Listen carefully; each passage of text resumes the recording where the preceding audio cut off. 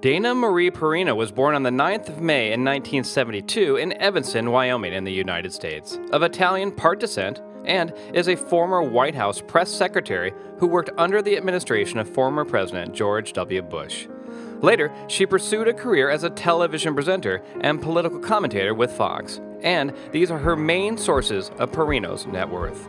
So, just how rich is Dana Perino? As of early 2017, it has been estimated by Celebrity.money that the size of Dana's net worth is over $4 million. While working in the White House, her annual salary was $172,000, whereas from Fox News, it is as much as $250,000. Dana Perino was raised in Denver, Colorado, and was a student of Ponderosa High School.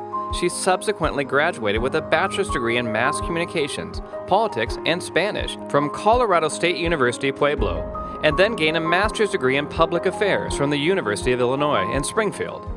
Dana initially worked as a daily reporter for the Illinois Capitol, then took the position of staff assistant for Representative Scott McInnis of Colorado, followed by that of press secretary for Representative Dan Schaefer, the chairman of the House Commerce Subcommittee on Energy and Power.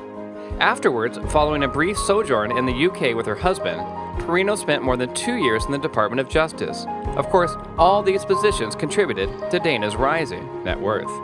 In 2003, Dana was employed by the Associate Director of Communications in the White House, and when she proved to be totally professional and competent, was chosen as Deputy Press Secretary by Scott McClellan, becoming just the second female to hold this position, the first being Dee Dee Myers during the Clinton administration.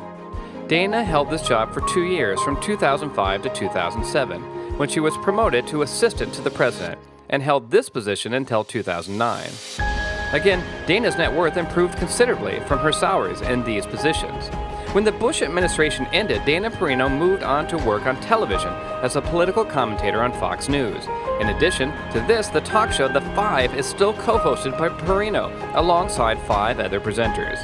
Dana also works for the largest trade book publisher in the world, Random House, as an executive. All the above mentioned positions have added to Dana's net worth as well as providing considerable varied experience and making her recognized and respected.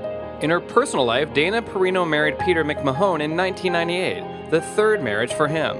They do not have any children together, but McMahon has children from his previous marriages and is now a grandfather. And so, Dana is a step grandmother.